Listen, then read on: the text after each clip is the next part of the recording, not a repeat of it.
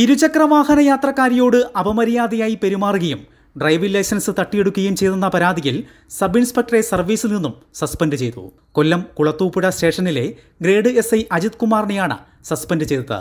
ഡ്യൂട്ടിയിൽ ഇല്ലാതിരുന്ന സമയത്ത് മദ്യപിച്ച് ഇരുചക്രവാഹന യാത്രക്കാരിയെ തടഞ്ഞ് മോശം വാക്കുകൾ പ്രയോഗിച്ചുവെന്ന പരാതിയുടെ അടിസ്ഥാനത്തിലാണ് നടപടി.